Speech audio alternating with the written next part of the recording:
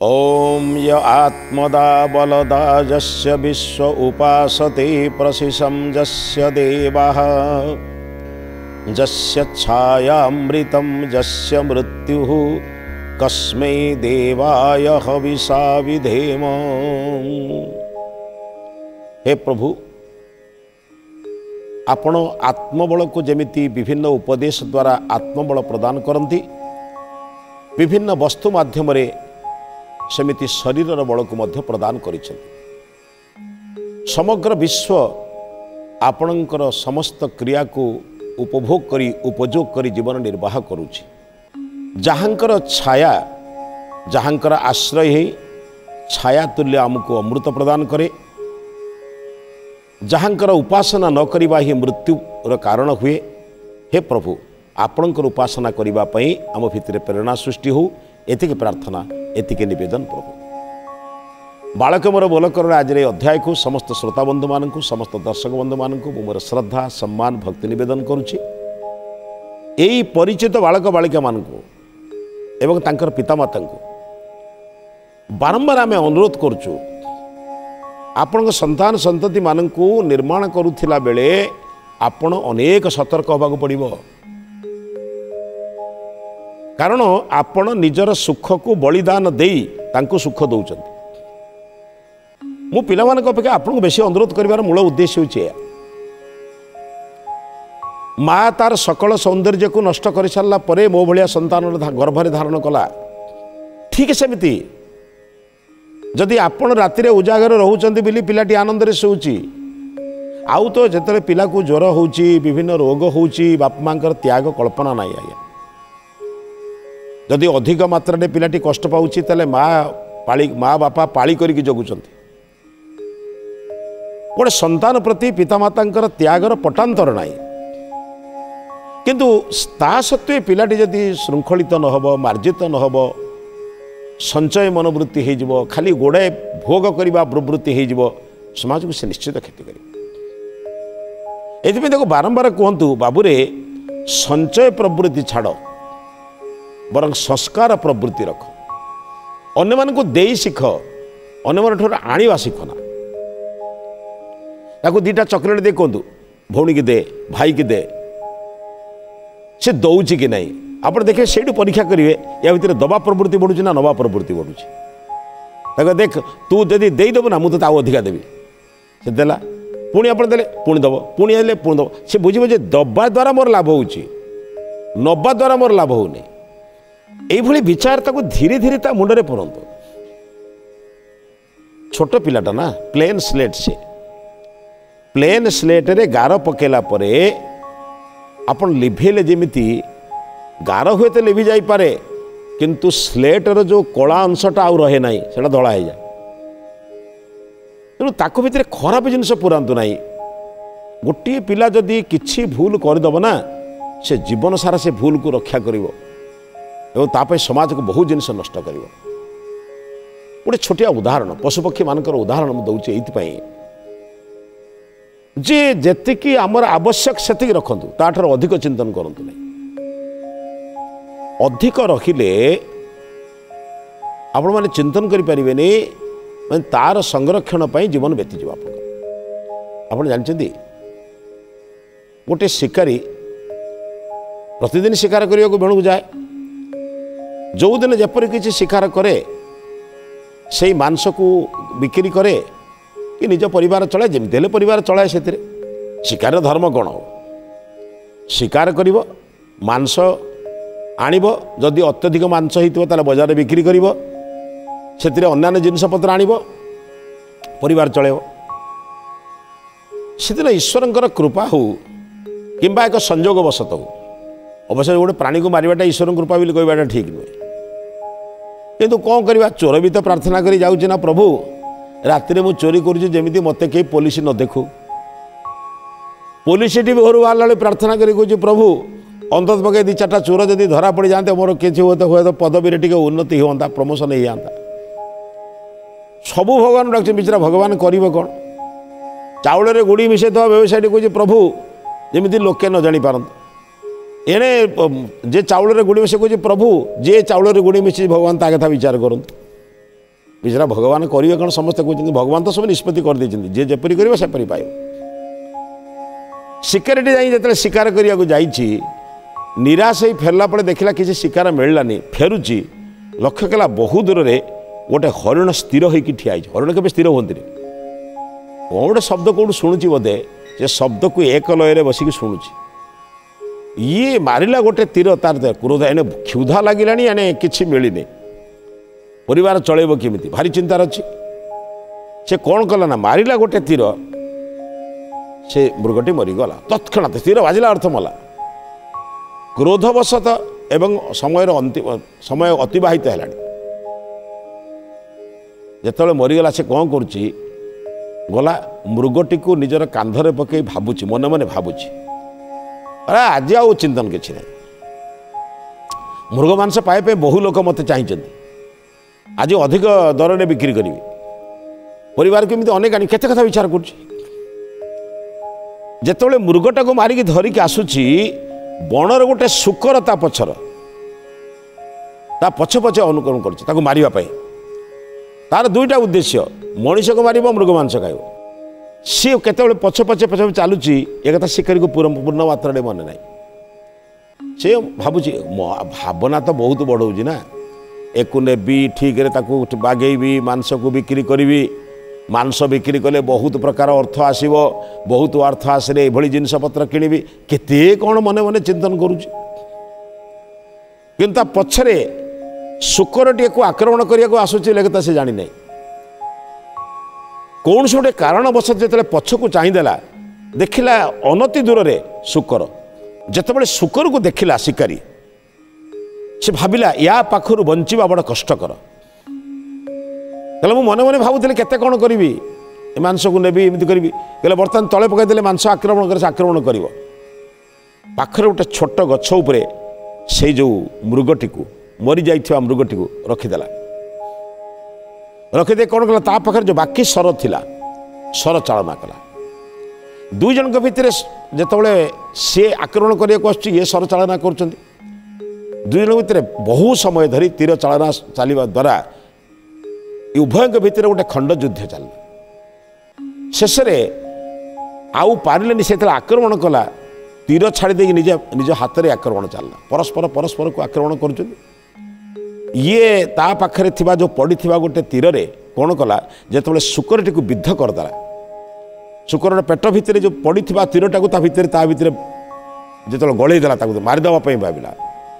ଶୁକରଟି ଧୀରେ ଧୀରେ କ'ଣ କଲା? ଛଟପଟ ଛଟପଟ ହେଇ ମରିଗଲା। ସେତେବେଳେ ଶୁକରର ଆକ୍ରମଣରେ ଇଏ ବି ତା ଗୋଡ଼ ହାତ ଯେଉଁ ଛିଡ଼ିଛି ଇଏ ଆଉ ଉଠି ପାରୁନି। ଇଏ ବି ତଳେ ପଡ଼ିଛି। ଉଭୟ ଭାବୁଛନ୍ତି ତଳେ ପଡ଼ିଛନ୍ତି। ମାନେ ଶୁକର ଭାବୁଛି ଇଏ ମରିଗଲାଣି। ଇଏ ଭାବୁଛି ଶୁକର ମରିଗଲାଣି। କିନ୍ତୁ ପ୍ରକୃତ ଶୁକରଟି ମରିଛି କିନ୍ତୁ ଇଏ ମରିନି। ଏହି ସମୟରେ ଗୋଟେ ସର୍ପଟିଏ ଅରଣ୍ୟର ସର୍ପ ସେ ଯେତେବେଳେ ସେଇ ବାଟରେ ଦେଇ ଯାଉଛି ଏଇ ଶିକାରୀଟିକୁ ଦଂଶନ କଲା। କାହିଁକି ଦଂଶନ କଲା? ନା ୟାର ଯେଉଁ ହାତ ଛଟପଟ ହେଉଛି ଆପଣ ଜାଣିବେ ପ୍ରାଣୀ ଜଗତର ଗୋଟେ ବଡ଼ କଥା ଅଛି ତାଙ୍କୁ ଆକ୍ରମଣ ନ କଲେ ସେ ଆକ୍ରମଣ କରିବେନି। ତାଙ୍କର କିଛି କ୍ଷତି ନ କଲେ ଆପଣଙ୍କୁ ସେ ଆକ୍ରମଣ କରିବେନି। ଇଏ ଯେଉଁ ଗୋଡ଼ ହାତ ଛଟପଟ ହେଉଛି କେତେବେଳେ ଗୋଡ଼ ପକାଇ ଦେଇଛି ସର୍ପ ଉପରେ ସର୍ପ ଉପରେ ଯେତେବେଳେ ଗୋଡ଼ ପଡ଼ିଯାଇଛି ସର୍ପ ଉପରେ ଯେତେବେଳେ ଆଘାତ ହେଇଛି ସେ ଦଂଶନ କରିଛି ଏ ଦଂଶ ଦୃଷ୍ଟିରୁ ଇଏ ଶିକାରୀଟି ମରିଯାଇଛି ସର୍ପ ତାର ନିଜ ରାସ୍ତାରେ ଚାଲିଗଲା ବର୍ତ୍ତମାନ ଦେଖନ୍ତୁ ଗଛ ଅନ ଗୋଟେ ବୁଦା ଉପରେ ରହିଛନ୍ତି ମୃଗ ଇଏ ମୃଗ ବି ଦେଖାଯାଉଛି ଅର୍ଥ ମୃଗ ମରିଯାଇଛି ମୃଗ ରହିଛି ବୃଦ୍ଧା ଉପରେ ଶିକାରୀ ମରି ପଡ଼ିଛି ଶୁକର ମରି ପଡ଼ିଛି ତିନିଟି ଖାଦ୍ୟ ଗୋଟିଏ ଖାଦ୍ୟ ପାଇଁ ବଣରେ ପାଇବା ପାଇଁ କେତେ କଷ୍ଟ କରନ୍ତି ବନ୍ୟଜନ୍ତୁମାନେ। ଗୋଟାଏ ମୂଷାକୁ ଭକ୍ଷଣ କରିବା ପାଇଁ ସାପକୁ କେତେ ସମୟ ଅପେକ୍ଷା କରିବାକୁ ପଡ଼େ? ଗୋଟାଏ ମୂଷାକୁ ଖାଇବା ପାଇଁ ବିରାଡ଼ି ଆପଣ ଲକ୍ଷ୍ୟ କରିଥିବେ କେତେ ଦିନ ଜଗିଲେ କେତେ ସମୟ ଜଗିଲେ ମୂଷାମାନଙ୍କୁ ଆକ୍ରମଣ କରେ। ଇଏ ସତ୍ତ୍ୱେ ବି ସେଇ ରାସ୍ତାରେ ଗୋଟେ ବିଲୁଆ ଯାଉଥିଲା। ବିଚରା ବିଲୁଆ ଲକ୍ଷ୍ୟ କଲା କହିଲା କ'ଣ ଏ ତିନିଟା? ମୃଗ ମଣିଷ ଶୁକର? କହିଲା ମୋ ଭଳିଆ ଲୋକ ଯଦି ଆଜିଠାରୁ ଖାଇବା ଆରମ୍ଭ କରିବ ତାହେଲେ କେତେ ବର୍ଷ ଯିବ ଯେ ତାର କଳ୍ପନା ନାହିଁ? ମନୁଷ୍ୟ ବେଳେବେଳେ ଭାବେ ମୋ ବାପା ମା ଯେତିକି କରିଦେଇଛନ୍ତି ବସି ଖାଇବି ଯଦି ଆଠ ପୁରୁଷ ପଳେଇବ।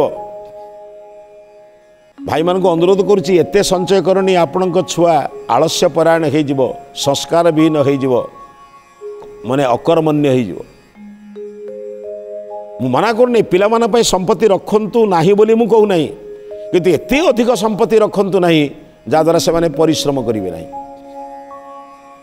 ଏ ବାପା ତ ଯେତିକି ରଖିଛି ଆଠ ପୁରୁଷ ଖାଇଲେ ସରିବନି ପରିଶ୍ରମ କାହିଁ କରିବୁ? ସେମାନେ ଆଳସ୍ୟ ପରାୟଣ ହେବେ ତାଙ୍କ ପୁତ୍ରକନ୍ୟାମାନେ ଆଳସ୍ୟ ପରାୟଣ ହେବେ ଏବଂ ଧନ ସମ୍ପତ୍ତିକୁ ଲୋଭ କରି ଶତ୍ରୁମାନେ ମଧ୍ୟ ଆକ୍ରମଣ କରି ଧନ ସମ୍ପତ୍ତିକୁ ନେଇଯିବାର ଅନେକ କାରଣ ଅଛି। ତେଣୁ ଚିନ୍ତନ କରନ୍ତୁ କେମିତି ସଂସ୍କାର ପରସ୍ପରକୁ ଦେବେ ଅଧିକ ସଞ୍ଚୟ ନ କରି ବରଂ ତାକୁ କର୍ମଠ କରନ୍ତୁ। କର୍ମ ଦ୍ୱାରା ଯେପରି ସେମାନେ ଆବଶ୍ୟକୀୟ ଅର୍ଥ ପାଇବା ସହିତ ଅର୍ଥ ରୋଜଗାରରେ କ୍ଷମ ହେବେ ଏଥିପାଇଁ ସମ୍ପତ୍ତି ଅପେକ୍ଷା ସଂସ୍କାର ଅଧିକ ଦିଅ। ସମ୍ପତ୍ତି କମ୍ ରଖିଲେ ଚଳିବ କିନ୍ତୁ ସଂସ୍କାର ନଦେଲେ ସମ୍ପତ୍ତି ବି ନଷ୍ଟ ହେଇଯିବ। ବିଚରା ବିଲୁଆ ଦେଖୁଛି କହିଲା ମୋ ଭଳିଆ ଭାଗ୍ୟବାନ ବୋଧେ ଏ ବଣ ଭିତରେ କେହି ନାହାନ୍ତି। କହିଲା କ'ଣ ଏଇ ତିନି ତିନିଟାକୁ କେତେବେଳେ ସାରିବି ମୁଁ? ଅନ୍ୟମାନଙ୍କୁ ବି କାହିଁ ଖବର ଦେବି ମୁଁ? କହିଲା ମୁଁ ଖାଇବା ଯଦି ଆଜିଠାରୁ ଆରମ୍ଭ କରେ ବର୍ଷ ବର୍ଷ ଆନନ୍ଦରେ ପୁଣି ମୃଗ ମାଂସ ବହୁଦିନର ଏକ ଆକାଂକ୍ଷିତ ପଦାର୍ଥ ମୋ ଭଳିଆ ଗୋଟେ ଛୋଟିଆ ଜନ୍ତୁଟିଏ ବିଲୁଆଟିଏ ମୃଗ ମାଂସ ଖାଇବାର ସୁଯୋଗ ମୋତେ କେଉଁଠି ମିଳିଥାନ୍ତା? ମୋତେ ପରିଶ୍ରମ କରିବାକୁ ପଡ଼ିନି। ଗୋଟାଏ ମୃତ ମୃଗ ପୁଣି ବେଶୀ ଦିନ ହେଲା ମରିନି ଆଜି ମରିଥିବା ମୃଗଟିଏ ଅଛି। ମାନ ସ୍ୱାଦିଷ୍ଟ ମାଂସକୁ ଖାଇବା କେତେଜଣ ଭାଗ୍ୟରେ ଜୁଟେ? କ'ଣ କରିବା ଆଜ୍ଞା? ଆମକୁ ତ ଅନେକ ସମୟରେ ଏମିତି ଉଦାହରଣ ମିଳୁଛି। ବିଲଟି ଭାବୁଛି ମନେ ମନେ। ଯେମିତି ଶିକାରୀଟିଏ ଭାବୁଥିଲା ଏ ମାଂସକୁ ନେବି ବିକ୍ରି କରିବି ଅର୍ଥ ଆଣିବି ପରିବାର ଚଳେଇବି ପିଲାକୁ ପ୍ୟାଣ୍ଟ ଦେବି। କେତେ କ'ଣ ବିଚାର କରୁଥିଲା? ମଣିଷର ବିଚାର ବହୁତ। କିନ୍ତୁ ଈଶ୍ୱରଙ୍କର ନିଷ୍ପତ୍ତି ପୃଥକ। ଆମେ ଅନେକ କଥା ଭାବନ୍ତି କିନ୍ତୁ ଆମ ଭାବନା ହେବ ନାହିଁ। ଈଶ୍ୱରଙ୍କ ସୃଷ୍ଟିରେ ଆମେ ଯେପରି କର୍ମ କରିବା ତାହା ହିଁ ହେବ। ଭାବିଲେ କେବେ ହେବ ନାହିଁ? କଲେ ହେବ। ତେଣୁ ଭଲ ଭାବନ୍ତୁ ଭଲ କରନ୍ତୁ ଈଶ୍ୱରଙ୍କ ଆଶୀର୍ବାଦ ପାଆନ୍ତୁ। ଇଏ ଭଲ ନକରି ଭାବୁଛି ଆଜି ମୋର ଭାଗ୍ୟ କ'ଣ ମୁଁ ନ ପାଉଛି। ଏ ବସି ଭାବିଲା ହେଲେ ଗୋଟେ କାମ କରିବା। କେଉଁଠୁ ଖାଦ୍ୟଟା ଆରମ୍ଭ କରିବା? ଆଗେ ମୃଗ ଖାଇବି ନା ମଣିଷ ଖାଇବି ନା ଶୁକର ଖାଇବି? ହେଲା ଏ ତିନିଟା ଯାକ ତ ମୋର। ମୋର କାହିଁକି ପ୍ରତିଦ୍ୱନ୍ଦ୍ୱୀ ହେବ? ଚାରିଆଡ଼େ ଦେଖିଲା କିଛି ପ୍ରତିଦ୍ୱନ୍ଦ୍ୱୀ କେହି ନାହାନ୍ତି। ତାପରେ ଏ ସ୍ଥାନକୁ ଆସିବାର ମଧ୍ୟ କାହାର ଇଚ୍ଛା ନାହିଁ କାହାର ଆସିବାର ଆବଶ୍ୟକତା ନାହିଁ ସବୁ ବଣର ଘଞ୍ଚ ଅରଣ୍ୟ ଭିତରେ ସେମାନେ ଅଛନ୍ତି ତାଙ୍କ ଖାଦ୍ୟ ପାଉଛନ୍ତି ପରମାତ୍ମା ତିଆରି କରିଛନ୍ତି।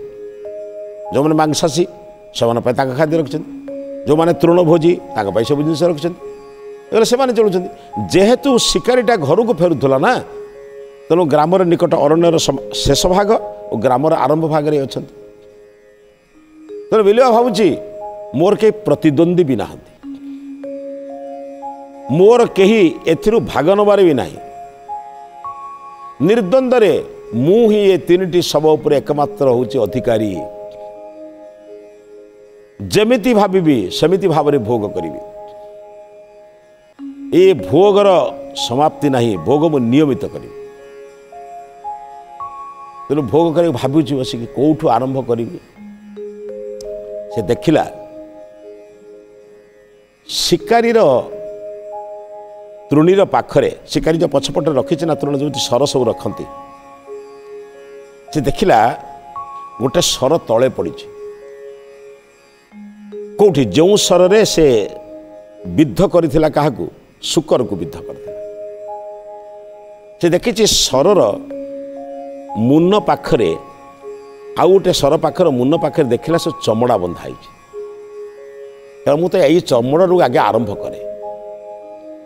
ଏଇ ଚମଡ଼ାରୁ ଯଦି ଆରମ୍ଭ କରିବି ତାହେଲେ ଛୋଟିଆରୁ ଖାଦ୍ୟ ଖାଇବା ଆରମ୍ଭ କଲେ ଧୀରେ ଧୀରେ ବଡ଼ ଗୁଡ଼ିକୁ ଖାଇବା ଆରମ୍ଭ କରିବି। ଆଉ କୁଆଡ଼ିକି ଯିବାର ନାହିଁ କେଉଁଠି ପରିଶ୍ରମ କରିବାର ନାହିଁ ଆଜିଠାରୁ ଏଇଠୁ ଆରମ୍ଭ କରିବି ଖାଇବା। କାରଣ ଏଇ ଚମଡ଼ାରୁ ଖାଦ୍ୟ ଆରମ୍ଭ କଲେ ମୋତେ ଅନେକ ଜିନିଷ ଖାଇବାର ସୁଯୋଗଟା ପରବର୍ତ୍ତୀ କ୍ଷେତ୍ରରେ ମିଳିଯିବ। ବିଲୁଆଟି ଲୋଭବଶତଃ କ'ଣ କଲା? ନା ଯେତେବେଳେ ଯେଉଁ ଚମଡ଼ା ଟିକକ ଲାଗିଥିଲା ଚମଡ଼ା ଟିକକ ଖାଇବା ପାଇଁ ପାଟି ଭିତରେ ଚମଡ଼ା ଟିକ ଚମଡ଼ା ସହ ସେଟାକୁ ଭର୍ତ୍ତି କରିଦେଇଛି ମୁନ ସହ ଚମଡ଼ାକୁ ଖାଇବା ପାଇଁ ପାଟିରେ ଭର୍ତ୍ତି କରିଦେଇଛି। ଯେଉଁ ସରଟି ଓଲଟି ଯିବା ଦୃଷ୍ଟିକୋଣରୁ ଶିଆଳର ପାଟି ଭିତରେ ପ୍ରବେଶ କରିଗଲା। ଚମଡ଼ା ଖାଇବା ପରିବର୍ତ୍ତେ ସରର ମୁନ ଭାଗଟି ତାର ପାଟି ଭିତରେ ପ୍ରବେଶ କରିଗଲା। ନିଜେ ଛଟପଟ ହେଇ ମାନେ ଭୟଙ୍କର ଶବ୍ଦ କରି କେମିତି ସେଇଟା ବାହାରିବ ଯେତେ ଚେଷ୍ଟା କଲେ ବି ଆଉ ବାହାରୁନି କାରଣ କେହି ସହାୟତା କେହି ନାହିଁ ନିଜେ ତ ସେ ଦୋଷରେ ପଡ଼ିଛି ତଣ୍ଟିରେ ସେଟା ପଶି ଯାଇଛି ବାହାରୁ ନାହିଁ ଚମଡ଼ାଟା ଖାଇବା ଲୋଭରେ ଯାଇଥିଲା ସରଟା ବର୍ତ୍ତମାନ ଭିତରକୁ ପ୍ରବେଶ କରିଯାଇଛି ଆଉ ସରର ପଛରେ ଯେଉଁ ଦୁଇଟା ମୁନ ଥାଏ ସେ ଅଟିକି ଯାଇଛି। ଯେମିତି କଣ୍ଟାର ଗାଲିସିରେ କଣ୍ଟା ପଶିଗଲେ କଣ୍ଟା ଅଟିକି ଯାଏ ମାଛମାନଙ୍କର। ଆଉ ବାହାରିବା ସମ୍ଭବ ନୁହେଁ। ନିଜେ ଶବ୍ଦ କରି ସେ ଶବ୍ଦକୁ ଶୁଣିବା ପାଇଁ ତିନିଟି ଶବ୍ଦ ଶବ କେବଳ ପଡ଼ିଛନ୍ତି ସେ ଶବ୍ଦକୁ ଶୁଣି ନିରାକରଣ କରିବା ପାଇଁ ଚତୁର୍ଥ ଲୋକ କେହି ନାହାନ୍ତି ଯେଉଁ ତିନି ଜଣ ତିନିଟି ଅଛନ୍ତି ସେ ତିନିଟି ହେଉଛି ଶବ। ଶୁକର ଶିକାରୀ ଏବଂ ମୃଗ। ଶବ ଗୁଡ଼ିକ କ'ଣ କରିବେ? ଆରେ ଚେତନା ଯାହାର ଅଛି ସେ ସିନା ଜବାବ ଦେବ। ଜଡ଼ କେମିତି ଜବାବ ଦେବ? ତେଣୁ ଜଡ଼କୁ ପାଟି କଲେ କ'ଣ ହେବ? ବରଂ ଆହୁରି କଠିନ ଭାବରେ ଯେତେବେଳେ ଯନ୍ତ୍ରଣା ହେଉଛି ଯନ୍ତ୍ରଣାରେ ଛଟପଟ ଛଟପଟ ଛଟପଟ ଛଟପଟ ହେଇକି ସ୍ୱୟଂ ମରିଗଲା। ଏ କଥା କହିବାର ଉଦ୍ଦେଶ୍ୟ ହେଉଛି କରିପାରୁଛନ୍ତି ତ? ଭାବୁଛି ବିଲୁଆ ମୃତ୍ୟୁ ପୂର୍ବରୁ। କହିଲେ କର୍ମଠାରୁ ଅଧିକ ମୁଁ ଆଶା କଲି। ମୁଁ ଯେତିକର ହକଦାର ମୁଁ ଯଦି ଶୁକରକୁ କିମ୍ବା ମୃଗକୁ ଖାଇବା ଆରମ୍ଭ କରିଥାନ୍ତି। ତାହେଲେ ମାଂସ କିମ୍ବା ଶିକାରୀକୁ ଖାଇବା ଆରମ୍ଭ କରିଥାନ୍ତି। ତାହେଲେ ସ୍ୱାଦିଷ୍ଟ ମାଂସ ସହିତ ବା ଯାହା ମୋର ଖାଦ୍ୟ ଥିଲା ଖାଦ୍ୟ ଖାଇକି ଯାଇପାରିଥାନ୍ତି। କିନ୍ତୁ ଅନେକ ଜିନିଷ ଦେଖି ଯେଉଁ ଲୋଭଗ୍ରସ୍ତ ହେଇଗଲି। ଇଏ ଲୋଭ ମୋତେ କେଉଁ ସ୍ତରକୁ ନେଲା? ମନୁଷ୍ୟ ବର୍ତ୍ତମାନ ବହୁ ସଞ୍ଚୟ କରୁଛି ଉପଭୋଗ କରିପାରୁନି। ଭାବୁଛି କ'ଣ ସଞ୍ଚୟ ଯେଉଁ କରିଛି ନଷ୍ଟ ହେଇଯିବ କି ସମାପ୍ତ ହେଇଯିବ କି?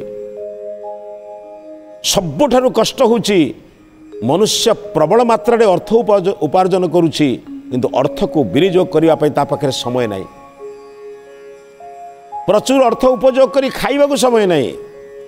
ନିଜର ପ୍ରିୟ ଲୋକଙ୍କ ପାଖରେ ବସିବାକୁ ତାକୁ ସ୍ତର ନାହିଁ। ପତି ପତ୍ନୀ ପୁତ୍ର କନ୍ୟା ବାପା ବାପ ପୁଅ ସାଙ୍ଗରେ ବସିକି ଟିକେ ହସ ଖୁସି ହେବାକୁ ସମୟ ନାହିଁ। କେବଳ ଅର୍ଥ କେବଳ ଅର୍ଥ ପଛରେ ଗୁଡ଼େଇ ଗୁଡ଼େଇ ଗୁଡ଼େଇ ଗୁଡ଼େଇ ଶାନ୍ତି ଯେମିତି ଆମଠାରୁ ପଳେଇ ଯାଉଛି। ଆମେ ଯେତେ ଅର୍ଥ ପଛରେ ଯାଉଛେ ଅନର୍ଥ ଆମ ପଛେ ପଛେ ଚାଲିଛି। ସେଥିପାଇଁ ଆଚାର୍ଯ୍ୟ ଶଙ୍କର କହିଲେ ଅର୍ଥମ ଅନର୍ଥମ ଚିନ୍ତୟ ନିତ୍ୟମ ନାସ୍ତି ତତଃ ସୁଖଲେଶ ସତ୍ୟମ।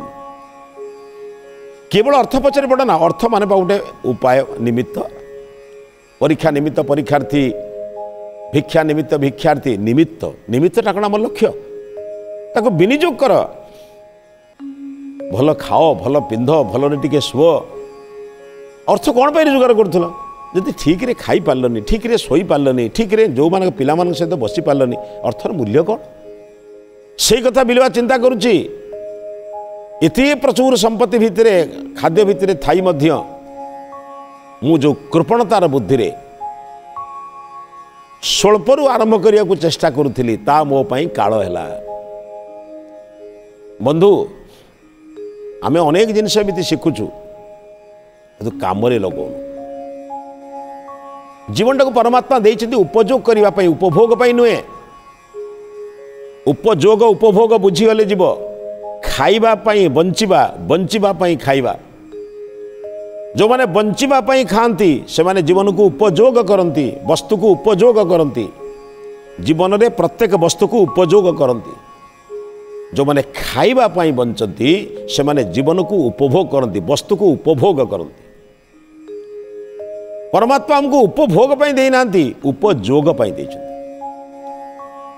ସନ୍ନ୍ୟାସୀ ବି ଖାଉଛି ଗୃହସ୍ଥ ବି ଖାଉଛି ନ ଖାଇଲେ କେମିତି ଶରୀର ଧାରଣ ହେବ କିନ୍ତୁ ସନ୍ନ୍ୟାସୀ ନିଜର ଶରୀରକୁ ରକ୍ଷା କରି ପ୍ରଭୁଙ୍କର ପ୍ରାର୍ଥନା କରିବା ପାଇଁ ଭୋଜନ କରୁଛି।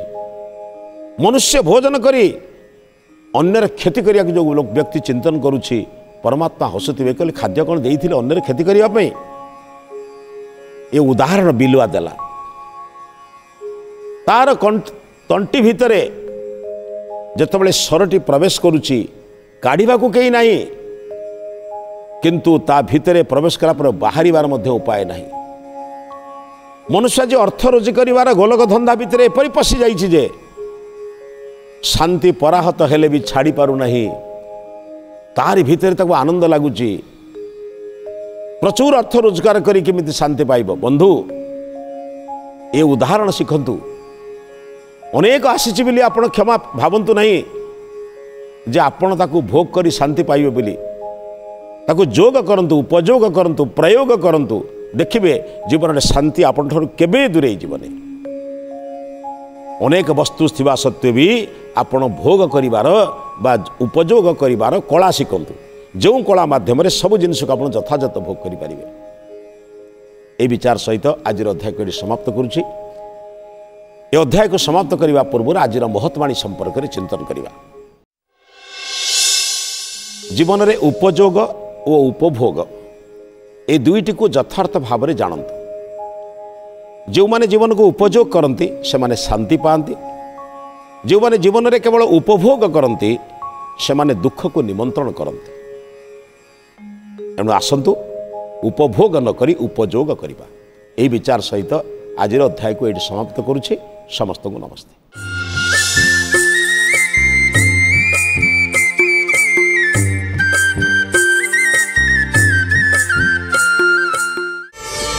ପ୍ରାର୍ଥନା ଆମ ଆନନ୍ଦର ଉତ୍ସ